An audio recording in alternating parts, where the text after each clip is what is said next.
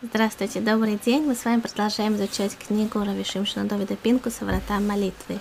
И сегодня врата, которые называются Пагия. Их довольно это сложно перевести на русский. Есть несколько параллельных э, значений, и мы по ходу дела с вами коснемся нескольких из них.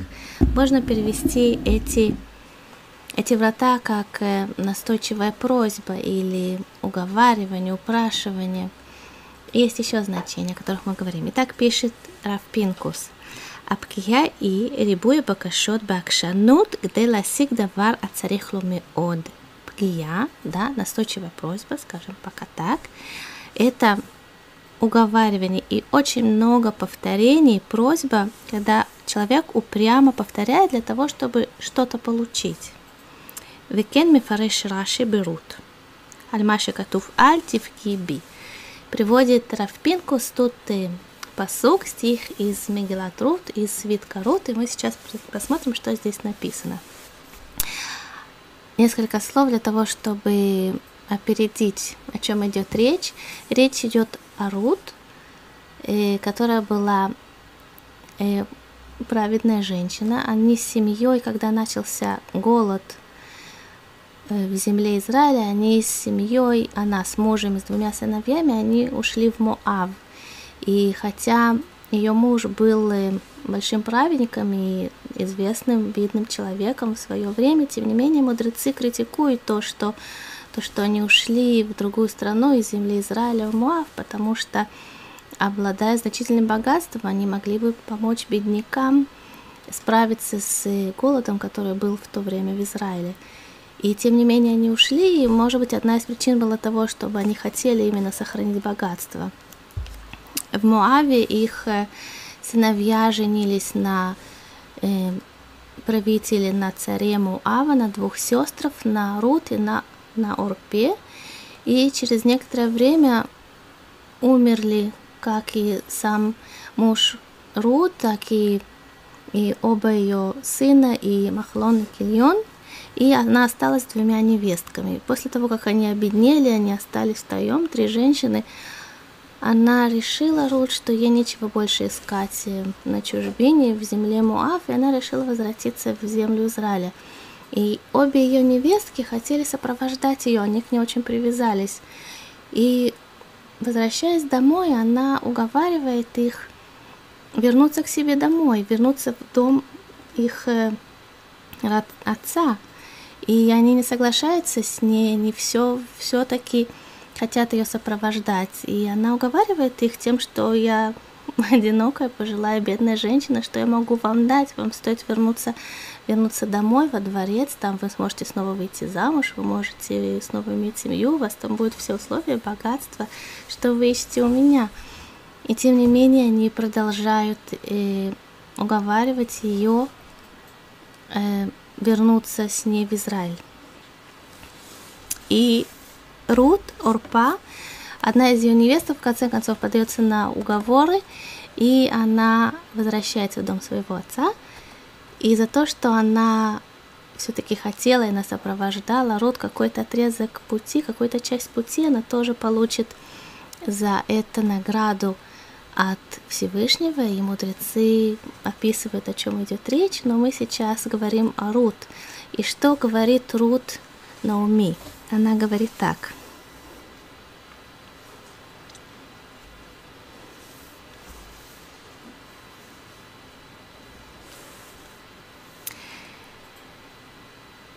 לעזבך לשוב מאחורייך לא אל אשר עמך עמי ואלוקייך אלוקיי, באשר יעשה השם לי וכה אוסיף. секундочку, сейчас я найду где это. ותאמר רות, אל תפגעי בי, לעזבך, לשוב מאחורייך, כי אשר תלכי אלך. И так говорит Рут Наоми. Альтивгиби, не уговаривай меня больше оставить тебя и вернуться в дом моего отца, ки. И тут э, она говорит, э, по-моему, одни из самых проникновенных слов, которые один человек говорил когда-то другому. Она говорит так. Ки ашер тильхи лех, и туда, куда ты пойдешь, я пойду. Уба ашер талини алин, и там, где заночуешь, заночую я. В амех ами, и твой народ, мой народ, и элокаих, элокай, и твой Бог, он мой Бог. Убашер тамут я амут, вишама кавер, и там, где ты Эм, умрешь, там и я умру, там похоронена буду. Ко ясе Ашем ли веко Йосиф, ки амавет эфрит бейни увенех. И так как Всевышний сделал тебе, так он сделает и мне, и только смерть разлучит нас. Это говорит Рут, и вначале она говорит «Альтив би». И что говорит Раши? Комментарий Раши так говорит «Альтивги би», не уговаривай. Он переводит «Альтивги би», три значения этого слова, и «Альтивги би», «бгия» – это и название Э, этих врат, которые мы сейчас с вами рассматриваем. Альтивиги би говорится в Мидраш, Бамидраш Амрала. Ло тихта алай, вело... Да, да, дальше продолжать, немножко я пропускаю. Три значения. Арига, то есть это убийство. Пгиша, это встреча. Ветаханоним и уговоры. Таханоним это очень-очень-очень сильные уговоры. Веладата Мидраш Тахануним Гиша Инянам Эхад. И по мнению Мидраша, говорит Раши, Тахануним, уговоры и встреча – это одно значение. Почему? Какая связь?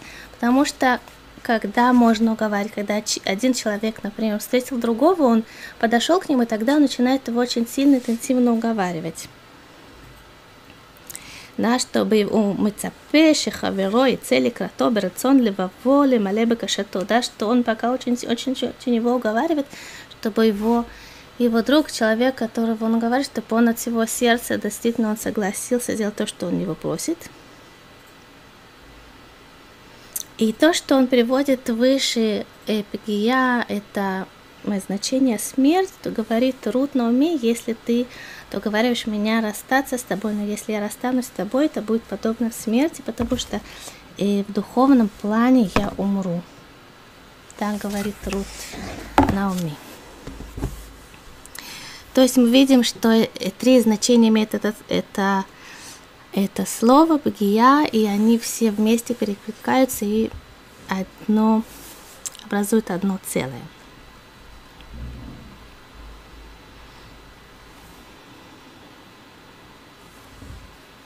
היינו, לבקש ולחזור ולבקש עוד ועוד, עד שכביכול כאילו אינו נותן מנוחה ושלווה אליו יתברך, עד שיעשה בקשתו. Да? Если мы возвращаемся на тему молитвы, то то человек пишет Травпинкус, уговаривает, уговаривает еще, еще, еще Всевышний, пока не дает ему покоя, так он говорит. Лону тенлу минуха не дает ему покоя, не дает ему спокойствия, пока Всевышний не сделает то, что человек у него просит. וכן, כך הייתה תפילתו של משה רבינו עליו השלום, שהרבה מאוד במיני בקשות וטענות כמניין והתחנן. да, להיכנס לארץ ישראל. И он переводит то же самое, как Моше Рабейна просил Всевышнего разными видами просьб, очень-очень-очень разные, так и так, и так, и так, да, Кеменян Ваидханан, пока Всевышний пустил его зайти в землю Израиля.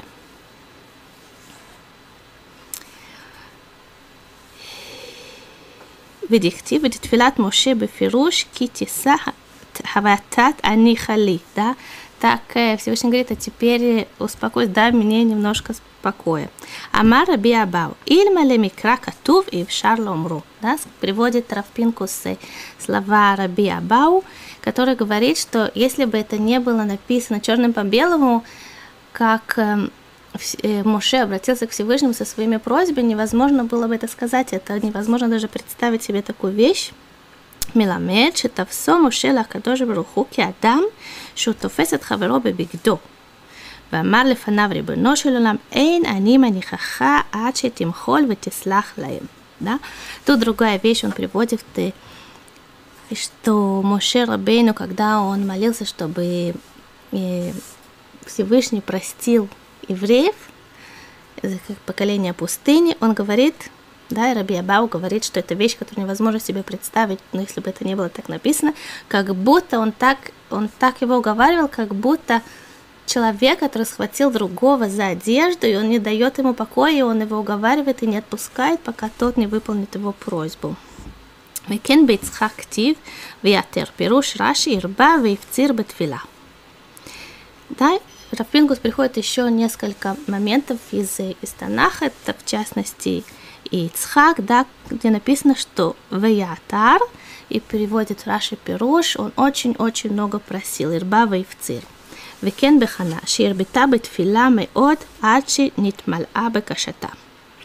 Да, и тоже Хана, про которую написано, что она очень-очень-очень просила, пока не исполнится ее просьба. ושנאמר בה, והיה כי הרביתה להתפלל.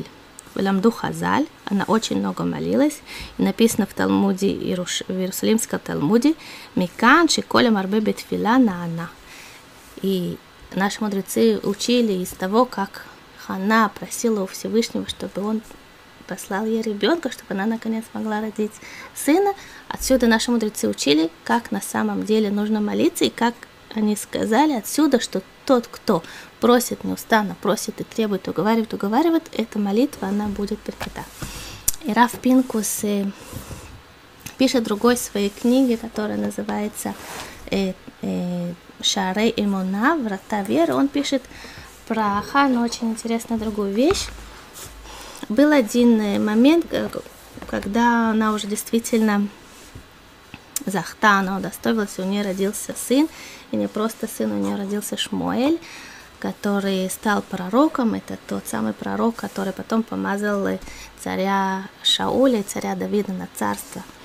Но это уже более поздние года, а до этого, когда он был учеником пророка Или, в какой-то момент он, он допустил ошибку, он э, сказал такую вещь, которую, за которую полагается смерть. Да, то есть понятно, что его бы никто не убивал, но он сделал очень большую ошибку. И пророк Или сказал, смотри, он сделал такой проступок, и он, ему полагается за это смерть. И если ты хочешь, я буду молиться, и у тебя родится другой ребенок. И Хана сказала, нет. Даже что это человек, который сделал проступок, я хочу этого ребенка. Он спросил, почему именно это? Он сказал, потому что я очень много молилась за него. Это ребенок, который пропитан моими молитвами. Не так просто все, что она молилась за него, в конце концов он родился, все эти молитвы, они не ушли в никуда, они были сконцентрированы, они были в нем, в его душе. Она сказала, Эльнара Зейд Паляльти, это ребенок, которого я родилась, я не применяю его никакого другого ребенка на свете. И возвращаемся к этой книге Равпинкуса Шерим Твила. וכן נהגו כל הקדושים, כאשר רצו להשיג דבר מה. И так все праведники себя вели, когда они хотели чего-то добиться. Ширбу бетфила, ача кадош бруху асарцунам. Они просили, просили, просили, просили, просили, просили, пока Всевышний не сделал то, что они просили. Везеки машаля бен анева, неав элавив, шим ахирбе лавцир бавив лело эрев. Рафбин говорит, на что это похоже? Да, если есть ребенок, очень-очень любимый своим отцом, но очень любимый своим отцом. И этот ребенок, он чего-то очень просит, просит, просит, говорит. И сначала ему отец говорит, нет, нет. Но он продолжает, он уговаривает, он просит, он просит эту вещь снова и снова и снова и снова и снова. Он может добиться от отца все, что угодно. Равпинкус пишет, даже если это царь, то эти, накидку, которая бывает у царя, такая горностая или короной во главе, даже это он может дать ему поносить, потому что это очень любимый ребенок, и мы все дети Всевышнего, и, и он это, это правило, которое мудрецы раскрыли нам. Афилу от глимада даль ктефеа, да? Как кен ноэг акадош баруху иману. И так Всевышний точно так же ведет себя с нами, и как папа, который очень любит своего ребенка. Им рак нарбе венавцир батфила бли эвсек. Если только мы будем уговаривать и продолжать уговаривать в молитве без остановки. А филу эн руим ану лефимасейну, даже если мы не заслуживаем этого. Да, то, чем мы просим, мы этого не заслуживаем. Но мы просим, чтобы Всевышний это сделал. Афилу ахи и мале ашем эт Он сделает то, что мы попросим. Но это не должно быть нам во вред. Им эйн, им ах эйн, а давар лиратейну. И тут Рафпинкус приводит из э, Масехет Таанит, из э, Талмуда.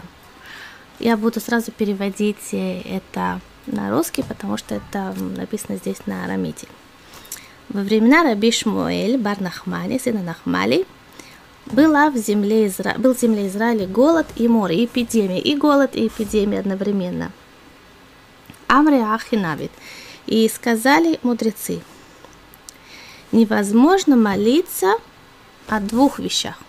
Да, невозможно молиться, что Всевышний и, и убрал голод и эпидемию. Невозможно. Можно молиться только одну вещь. Давайте будем молиться о, чтобы не было голода. Тогда Всевышний пошлет нам э, благоденствие, да, изобилие, но ведь он изобилие пошлет для живых людей, он не пошлет для тех, кто, да, для мертвых. Если он уже нам пошлет изобилие, не будет голова, то понятно, что само по себе и эпидемия тоже уйдет, потому что так написано. Потех дехо мазбе коль хай рацион. Да, он раскрывает свою руку и дает пропитание всем живым. Живым он дает пропитание. Миналан, да, мы, и откуда мы знаем – что не молятся сразу о двух вещах. Так написано в, в, в книге пророка Эзры. Венацума венавакшами локейну альзот. Да, написано, давайте о другом каком-то о чем-то они просили, давайте будем поститься, сказал Эзра, и просить об этом. То есть видно, что просить об этом, не о чем-то другом, но ясно, что было у них несколько вещей, но они сказали, давайте будем просить об этом. И из формулировки того, как он сказал, речь идет о чем-то конкретном. И в земле Израиля сказали, Раби Хагай, сказал Раби Хагай, можно просить милосердия у Бога неба и земли, но проси только одну вещь. И пишет Рафпинку слихора кашем мауайнян. И тут пишет Рафпинку, это очень странно, то, что здесь написано, ну очень странно. Как это может быть, что нельзя просить о двух вещах? הרי בתפילתנו שבכל יום יש 13 בקשות שונות בברכות האמצעיות. Да, мы же каждый день молимся молитву 18 благословений да, что в ней та часть, которая просьбы, по крайней мере, там есть 13 просьб, 13, только в одной молитве. Кроме этого, еще все просьбы, которые до и после, и многочисленные просьбы, которые человек просит в течение дня. Как это может быть, не просит о двух вещах, просит о очень многих вещах. Ну как может такое написать просто только об одной вещи? Эла, а пирушу но о чем, какое решение, как это можно объяснить? Пирушу, они в то время, если была, например, засуха, да, или то, что описывается Эзре, они сказали, давайте сделаем э, пост, назначим пост. Я помню, когда приехала в Израиль, были несколько лет засушлива очень земля для, для Израиля. Если нет дождя зимой, это очень сильно сказывается потом на урожае нет, э, нет полива достаточно для садов. И действительно, рабаним, раввины, они определяли какой-то день, был пост, и все молились для того, чтобы был дождь. И шел дождь. Так они сказали, давайте сделаем пост, и тогда будем молиться об этой вещи. Но ведь не делают пост о нескольких вещах. Если же делают пост, то весь, весь народ, вся, вся община молится о чем-то определенном. И о том, чем определенно молится, это вид молитвы. Левакеш, Бемавге, Алиньян, Мисуям, Ацарих, Рикус, Коль, Акухот, Атфила, Бейньян, Зе, Давка. А что это за вид молитвы? Это просят одну вещь, одну вещь. И для этой вещи концентрируют все свои силы, человек концентрирует все свои силы и все, все свое внимание, да, именно на эту вещь, ни о чем другом не распыляй, да, как лазерный луч, он, одну вещь он может достичь очень э, большое, большое пройти расстояние. Не как э, лампочка накаливания, которая распыляет свой свет. Об одной вещи просить. И так написано про Авраама Вину. Ухтивец Авраама Вину. Да, Берешит. Вейгаш Авраам. И выступил Авраам. Так про него написано. И что Раша говорит? Мацану Гиша. Гиша. Что такое Гиша? Выступил. О чем идет речь? Приводит Раши три объяснения этому. Что значит выступил? Выступил на войну, выступил для того, чтобы искать примирение, и выступил это молитва. ולכל אלה נכנס אברהם לדבר קשור לפיוס ולתפילה. Да? И это все три вещи, когда Авраам просил ледабер кашот, он просил и примирение, и молитва. והנה מוזכרים כאן שלושה אופני התפילה, ואחד מאל מלחמה. То есть Авраам Авину, он пользовался тремя видами молитвы, и про одну из них написано, что это война. Хайну Багия. Да, и это очень странно, как это может быть, что, что невозможно сказать про Авраама Авину, про отца Авраама, что он выступил с войной против Всевышнего. Это же не уму непостижимо такую вещь назвал. Но есть очень глубокое понимание. אמנם תפילה שהיא מלחמה אין צורתה רק לדבר קשות, אלא כמו במלחמה שצורתה הכללית היא ריכוז כל הכוחות כולם, да? пишет Пинкус. Что, какое понимание войны тут имеется в виду? Точно так же, как э, военной стратегии есть э, такое, такое, такая позиция, да, что если хотят занять определенную позицию, и тогда концентрируют все военные силы для того, чтобы нанести удар именно по этой точке – да, не ведут действия, например, по всей линии фронта, а хотят занять что-то определенное, какой-то какой город или какую-то крепость, и какой-то бастион, и тогда концентрируют там все силы и именно туда, чтобы занять эту точку. Это имеется в виду в этом смысле война, военная стратегия, что человек концентрирует все свои силы и направляет это на, на, на что-то одно, на одну тему.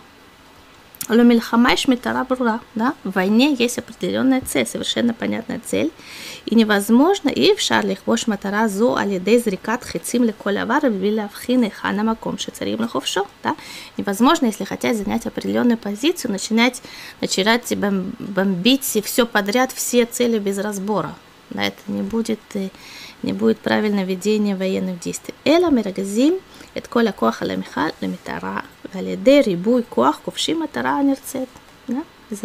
завоевывает одну позицию. וכאן הוא אופן זה של תפילה. И точно так же в этой форме молитвы. Рекус кола кохота адам аль давар месуям. Концентрация всех сил человека на одну определенную вещь, на одну определенную тему, которую человек хочет достичь. Везу Аллаха массы. Так пишет Раппинкус, это закон молитвы. Вейцану Руамам. И страшное, страшное, страшный совет человеку. Страшный не в смысле что, опасный, в смысле очень сильный. Векен ас веках ясу иудим бекола дрот. И так евреи себя вели на протяжении всех поколений. Кашер рацу ласи мисуян. עשה מבצע של תפילה, מה שנקרא בפי העם להפוך עולמות, להרבות בתפילות הרבה, וכולם בכיוון העניין שצריך להשיגו. Да, так пишет Пинку сделали евреи на протяжении всей истории, когда нужно было что-то определенное очень сильно, то именно там концентрировали все свои душевные силы, как э, приводит Равпинкус, э, перевернуть весь мир, да, в каком плане, что человеку что-то сильно, он будет все делать для того, чтобы это достичь все силы, которые там, и просили именно, именно, именно за эту, эту вещь. И Вани, продолжает Рафпинкус, Баниота и Ванти давар земи машера уинай.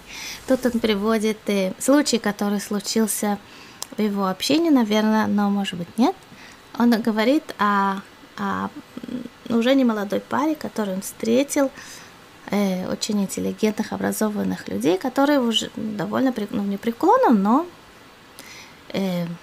предпенсионном возрасте, можно сказать, они э, вернулись к соблюдению Торы заповедей, Не, они были очень и э, преуспевающими людьми, и очень интеллигентными, очень умными. Они действительно взошли и стали, и постепенно научились, и все было замечательно. Но э, жена, она не, почти ничего не говорила мужу, но тем не менее она молилась для того, чтобы он учил, он э, смог учить Тору. Обычно это известная вещь, что человек, который в преклонном возрасте э, возвращается к соблюдению заповедей, это очень сложно начать учить Тору, потому что это другой язык. И другая, не только язык, в смысле это иностранный язык или иврит, но э, язык, который написан Талмуд, и, и, и логика построения, и логика изучения, и формулировки, они совсем-совсем другие. Человеку берет какое-то время, иногда длительное время, чтобы привыкнуть это, это непросто. А она очень хотела, чтобы он действительно углубленно стал изучать. Что-то было практически лишено логики, такое ее желание в таком возрасте, когда у него не было опыта, это то, что мальчик из э, маленького возраста входит в это постепенно, тут человек почти 50 лет, чтобы он начал. Но она ничего ему почти не говорила, но она очень радовалась, когда он учился. И одновременно с этим, без того, чтобы он видел, она очень молилась, но именно на эту тему, именно, именно, именно, именно эту тему. И Равпинкус не видела их несколько лет, и может быть, прошло 5 или 6 лет, в один из разов он обнаружил мужа этой женщины, когда он сел в Беткнесете и учился так, как будто он как будто он всю жизнь только этими занимался. Это было удивительно, это было потрясающе, это было необычно. И он встретил одного своего знакомого, тот, кто с этой парой поддерживал отношения на протяжении всех этих лет, и спросил, как это можно объяснить. Это же что-то потрясающее, невероятное, такого обычно происходит. И он ему сказал, что на самом деле произошло, что эта женщина, она не просила своего мужа об этом, потому что просить такую вещь невозможно. И не высказывала ему своего недовольства, если он это не делал, потому что, конечно, это только бы разрушило но она радовалась, когда он учился, и она, и она, не говоря ему ни слова, просила и направила все свои силы души, чтобы молиться об этом. И так пишет Равпинкус. מזה המעשה נפתחה להבנה חדשה בסוג, בסוג זה של תפילה. И эта история, она раскрыла мне глаза на эту форму молитвы. זהו הנקרא ביידיש אויזבטן так это называют, так он приводит, как называется на идиш. То есть много-много-много молиться о, о чем-то без, без перерыва, без перерыва, пока он это не получает. Это ногеля массе, кигона мивакеш аль ацлаха батура верат шамаем. И о чем и тут может идти речь? Это если человек хочет, чтобы у него получалось учиться хорошо, или он хочет, чтобы у него была богобоязненность сердце. Лацмо аль мишухар для себя или для кого-то другого. Оль хинух иладим шигделу и решамаем и таламиде хахамин. Или о своих детях, чтобы они выросли богобоязненными евреями и настоящими учеными, которые изучают Тору. О кигон бакашаля баним, о хосар парнаса, или просить, чтобы родились дети, или если у кого-то есть недостаточно заработка.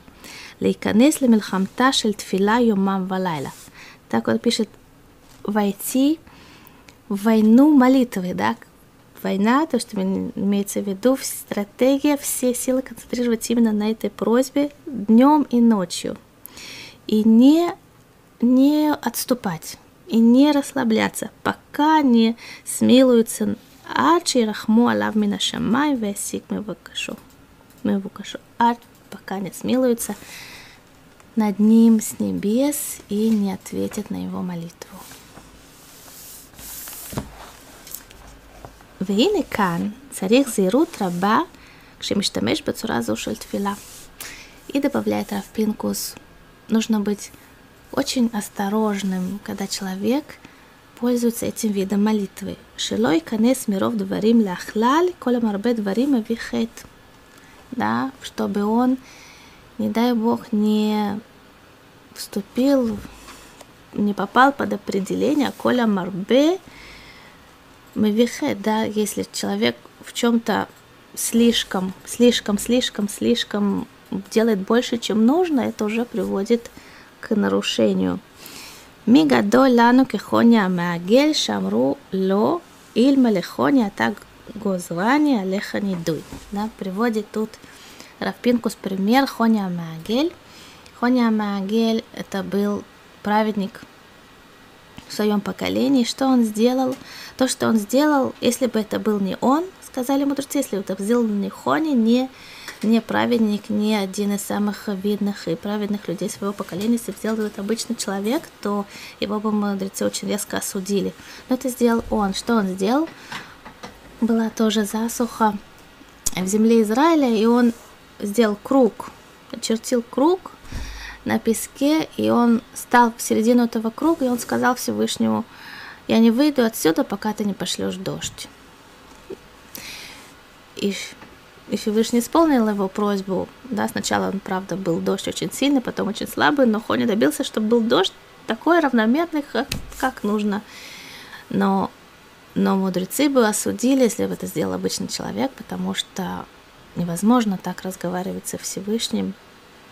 Но Хони, который знал, что он делает, он был следующим человеком, то, что касается разговоров со Всевышним и но обычный человек невозможно, чтобы он сделал, это уже будет нарушение, это будет грех. ויש בזה שני דברים. И у этого есть два момента. האחד, שאנו רחוקים מאוד מלדעת מהי טובתנו האמיתית. ולכן אין לו לאדם להתעקש הרבה על עניין מסוים, כגון על השירות וכדומה. ואפילו על חוכמה מופלגת. שהרי נפשנו יודעת שכמה וכמה דברים שביקשנו עליהם במשך הזמן, נתברר כמה שהיה да? В это в Пинкус первый момент, что нужно иметь в виду, на самом деле мы не знаем, что нам хорошо. Да? То есть мы можем просить о какой-то вещи очень-очень-очень-очень-очень, но мы не знаем на самом деле, хорошо ли это для нас. И иногда мы что-то очень-очень хотим и очень просим. Но проходит какое-то время, иногда несколько лет, и мы понимаем, как это было хорошо, что мы этого не получили. Потому что выясняется потом, что то, что у нас этого не было, это было здорово для нас. И даже если человек говорит, э, мне действительно это очень нужно, но проходит какое-то время, он понимает, что то, если у него не было этого, это он справился с этим, он выстоял в этом испытании, и что-то изменилось в нем, его личности, в его душе, он, он вырос благодаря тому, что у него не было этого. То есть, в конце концов, это было да, в духовном плане даже для него хорошо, но очень часто каждый про себя знает, что то, что он просил, или он даже не просил, но хотел, и этого не было, оказывает, что это было в конце концов даже лучше для него. ועצה לזה לבקש תמיד באופן כללי. Да? И пишет Равпинкус, как, какой совет по этому поводу есть просить всегда в общем, не просить о чем-то определенном, например, не просить выйти замуж именно за этого человека, или не просить, да, или жениться именно на этой женщине, но просить в общем, например, э, жениться или построить еврейский дом, просить в общем, не что-то конкретное. Или, например, э, человеку нужно заработок, просить, чтобы именно на эту работу попасть. Неизвестно, может быть, эта работа в конце концов окажется не, не хорошей для него, не то, что хорошей, даже пагубной для него в каком-то смысле. Но просить о заработке, да, но не конкретной вещи, если он берет э, в качестве молитвы эту форму, о которой мы говорим.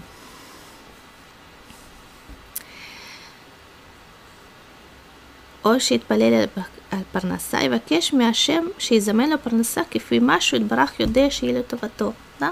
Если он просит о заработке, то просить, чтобы Всевышний ему посла заработок в той форме, в которой Творец знает, что это ему хорошо, что это ему во благо. Вейваке лой акву хатаим. И тут очень важный момент – просить, чтобы его грехи не остановили желание Всевышнего помочь ему. שלא יעקבו החטאים והקטגורים רצונו של השם להיטיב. И второй момент. הדבר השני, שגם כשאנו מבקשים למען שמו יתברך על גאולה ועל הבטחת אחרית הימים וכל העניינים שכבר קבעו לנו חז"ל שהם רצון לפני השם, גם בזה צריך מאוד להיזהר בכבוד שמיים, כלשון חז"ל בעניין התפילה. חברותא капешмай май. И вторая вещь, которую говорит Равпинкус, это очень тонкая, духовная вещь, но когда очень часто человек э, не часто, но бывает, что человек просит о чем-то, и он говорит, я это прошу не для себя, я это прошу для тебя, да, в конце концов, чтобы, чтобы твое имя осветилось в этом мире, для того, чтобы все узнали о том, что ты существуешь, это я прошу не для себя, для тебя я прошу, так может говорить человек в молитве, говорит, и просить, и просить, и снова и снова это повторять. И пишет Рафпинкус, нужно остерегаться. Почему? Потому что есть в этом иногда человек может прийти в некотором недостаточно осторожно скажем, недостаточно уважения, как будто, не дай бог, недостаточно уважения к Всевышнему, потому что может проскользнуть такой момент, как будто Всевышний, не дай бог, он наш приятель, и мы о нем печемся, да, так чтобы этого не проскользнуло, надо очень остерегаться. Когда человек говорит об этом не так часто, может быть, он выбирает слова, но когда он все время, все время об этом просит и выбирает именно этот тип молитвы, то может проскользнуть недостаточно уважения. וכן, כאשר אנו מתפללים ומעלים ומשבחים ומדברים איתו יתברך בתפילה בלשונו של נוכח וחיבה, כגון אבינו מלכנו, да? Понятно, что мы когда молимся Всевышнему, мы обращаемся к Нему с большой любовью, да, мы говорим Авину, Отец наш, Малкейну, наш царь. Но нужно помнить, а царих лиспо, лискор, шакадош бруху и нохавер шелану, да? То есть, в принципе, мы должны понимать, что Всевышний, Он не наш приятель, да? כי גבו שמיים וארץ קו גאו דרכי מדרככם ומחשבותי ממחשבותי ממחשבותיכם. ואלמלא עוונותינו יתברך, ענוונותו יתברך, ורצונו הבלתי בעלת תכלית להיטיב עמנו. Да? Нужно понимать, что он не наш приятель, и не дай бог такое подумать. И хотя мы к нему обращаемся с любовью, как пишет Рафпинкус, да, но все равно так же, как и Гавуша Майем Няр, да, так же, как и бескрайняя вселенная по отношению к Земле. Точно, да, также и бескрайнее расстояние разделяет между мыслями его и нашими мыслями. И если бы не скромность Всевышнего, или Маленвану то, если бы не скромность Всевышнего, есть, и если бы не его желание дать нам добро и дать нам свет, невозможно было бы вообще представить себе такое, что мы можем с ним разговаривать. Кто такие мы? И мы не можем себе представить, кто такой он. Невозможно представить себе, как мы можем вообще с ним разговаривать. И Рафпинкус пишет это в, в этой своей книге врата веры, что это любой человек понимает, что есть Всевышний. Да, не обязательно нужно быть для этого мудрецом, и даже не обязательно быть для этого евреем. И маломальский образованный человек, у которого открытое сердце, он посмотрит на мир, необыкновенный, потрясающий мир, который вокруг нас, и он понимает, что мир не может существовать сам по себе, поскольку все, что само по себе существует, оно все разлагается, оно разваливается, оно постепенно рушится. Но весь мир устроен так, что все он собран, во всем царит порядок, это противоестественно. Естественно, когда все разрушается, разламывается, расползается и растекается, мы видим, что есть высокая организованность в том, что существует. Ясно, что есть сила, которая отправляет. А в чем же революционный подход иудаизма? В том, что можно со Всевышним не только разговаривать, но можно его любить. И он любит нас. То есть такие понимание, которым нам кажется только чисто человечески, оказывается, что их источник во Всевышнем. Это Он дал нам эти чувства, эти чувства мы используем для того, чтобы разговаривать с Ним. Но надо стараться быть осторожным в том, чтобы не допустить даже чуть-чуть, как это по-русски говорят, понебратства или такого, хотя мы друзья, да, так написано в Шира Ширим, не только мы друзья, написано Ахоти, Тамати, Раяти, Едиднефеш, да, Всевышний это наш друг и наш отец, и наш, даже наша мама, и даже э, и Райти, и возлюбленный, и Едит Нефиш, и самый наш близкий друг, безусловно. И вместе с этим стараться, чтобы всегда это было в очень уважительной форме. Омнам.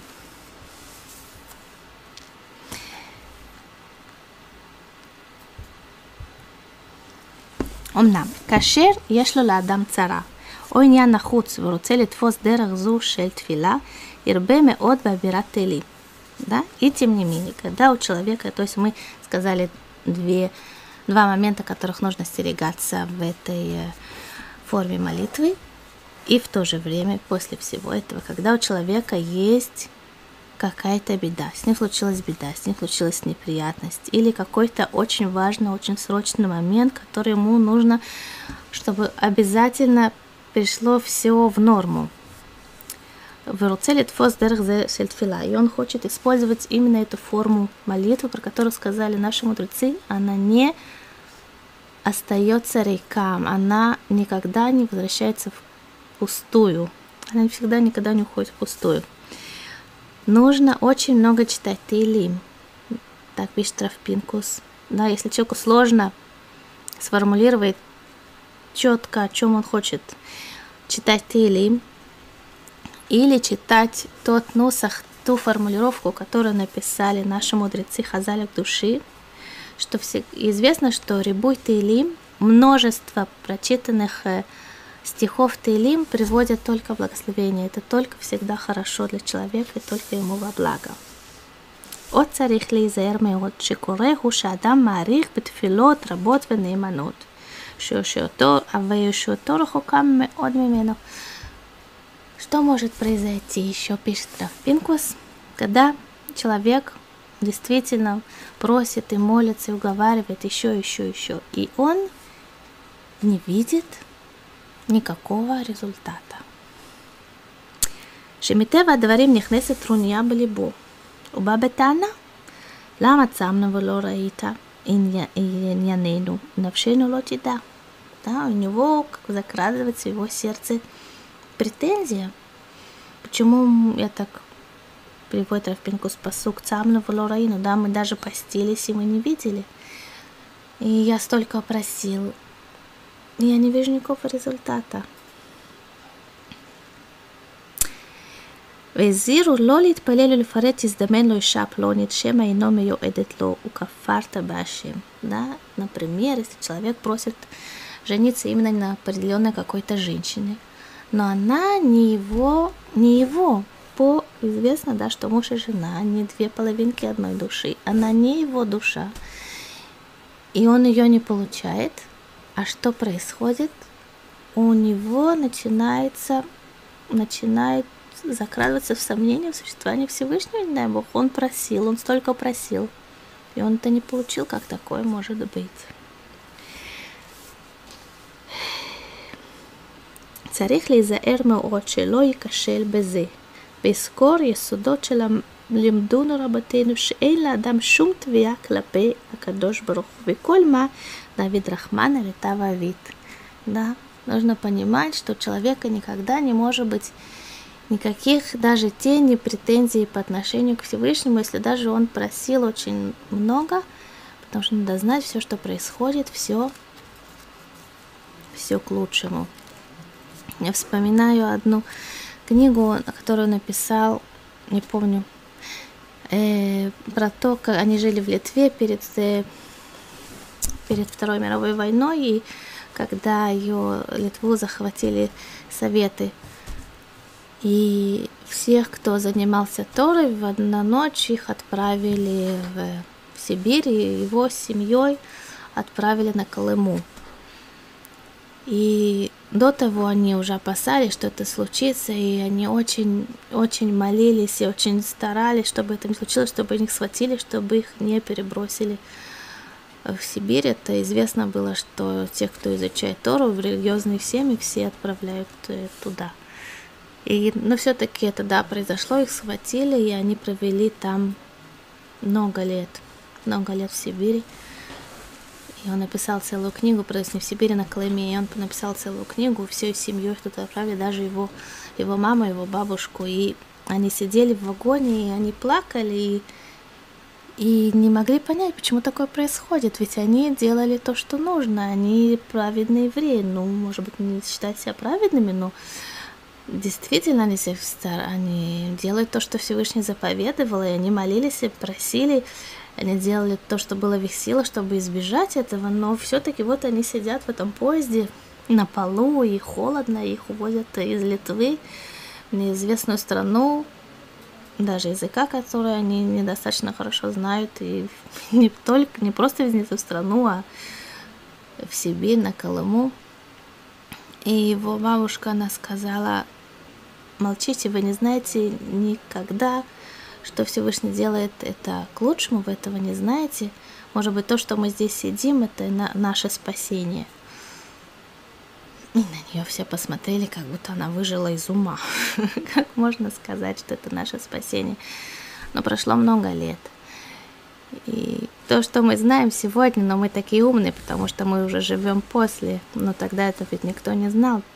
Но когда они поняли, что то, что их увезли в Сибирь, это спасло их от немцев, потому что те, кто там остались, и они не выжили. А они выжили, и они потом приехали в Израиль. Веата Акуры. А теперь, дорогой читатель, Шедмелеха Ахшав Бешат Криатхаши и Давар Катан. Тебе кажется, в то время, когда ты читаешь эту книгу, что это простая вещь. Бемет Чемагия Давар Лемивхана Масе за Но когда это приходит у человека, и это испытание, которое стоит перед ним, что он очень сильно о чем-то просит, и Всевышний это ему посылает, это очень тяжелая вещь. כשמבקש אדם על דבר מסוים בקשות נאמנות ונמרצות בריבוי גדול ונדמה לעניין בשר שלנו שהכל עלה בתור. Человек просит и умоляет, и умоляет о чем-то, о какой-то вещи. И кажется нам, нашими, нашими глазами, нам кажется, что это все впустую. Пустую, ничего не изменилось, хотя очень много молились о чем-то. За несайон кашемот. Это тяжелое испытание. וצריך זהירות גדולה לעמוד בזה, לא להיכנס להרהורים אחר השם יתברך חס ושלום, да, и нужно действительно очень стараться, чтобы не закрались в голову мысли, почему Всевышний это мне делает, или претензии по отношению к нему, не дай Бог. Давар зеубетарти. Да, есть тут две вещи. Решит. Шело леарэр ахал арав хас вешалом, да? Во-первых, чтобы не было никаких претензий, не дай бог, по отношению ко Всевышнему. И второе, так он пишет, ради Бога не останавливайтесь, не прекращайте. Лема нашем ло лавсик. Хазак. Но будь сильным, будь выносливым, пусть у тебя будет сильное сердце и надейся на Всевышнего и продолжай еще еще много раз так пишет Рав Пиркус. В Нетурате лерот бейн Моше Рабейну Луминаше Мелах Иуда. Да? Сравнивает Рав Пиркус два типа молитвы, которые говорят, которых наши мудрецы, минаше Мелах Иуда, Минаши царь, который мы говорили на одном из прошлых уроков, когда его захватили в плен, и он молился одну молитву, и Всевышнего спас, и и Моше Рабейну, который молился очень много молитв, очень много молитв для того, чтобы зайти в Эрец Исраэль. אבל גזר במפגיע לראות תוצאות. אבל משה רבינו התפלל תפילות כמניין והתחנן כלשון חנן במדרש על תפילת משה, שהייתה תפילתו דומה לחרב שהוא קורא וחותך ואינו מעכב. Да, говорят про молитву Моше Рабейна, что она была как меч, который рушит и рубит, и ничего не оставляет ни, ни камня на камне. Такая сила была у его молитвы. מעיין שם המפורש ונזדעזעו שמיים וארץ וסדרי בראשות, да, и, и, и, и пришли волнения в небо и земля, и все мироздание. Как התפלל 515 תפילות. Он так молился, Моше Рабейну, 550, и 505, 15 тфилот, 515 молитв он так молился. Да, как гематрия слова Вейтханан. כיוון שראה משה רבינו שלא נתקבלה תפילתו, и поскольку, когда увидел, и он видел 515 молитв, он молился страшных молитв, очень сильных, необыкновенно чудовищных сил молитв, он молился 515, он видел, что не была принята его молитва Болташа Амар, и в тот момент он сказал «Отцур тамим пару». Да, Всевышний Он совершенен. Если Он это сделал, что я не войду, я не войду. Но поймите, пишет Рафпинкус, но поймите, если бы он молился еще одну молитву, еще одну, он бы зашел. Помните это. Есть в Толдоте, там э, в рубрике «Фильмы на минуту» есть один короткий ролик, который называется как не нужно молить, молиться. Это ролик, история про мальчика. И хотя это наверняка не настоящая история, но это притча своего рода, но очень забавный, очень трогательный ролик о том, как э, об одном мальчике. Вы увидите его, если посмотрите, как не нужно молиться. Этот мальчик, он использовал именно этот тип молитвы, о котором мы сейчас с вами говорим и он э, действительно затронул тот момент, о котором говорит Раф Пинкус, в котором нужно быть очень осторожным. Всего доброго, до свидания.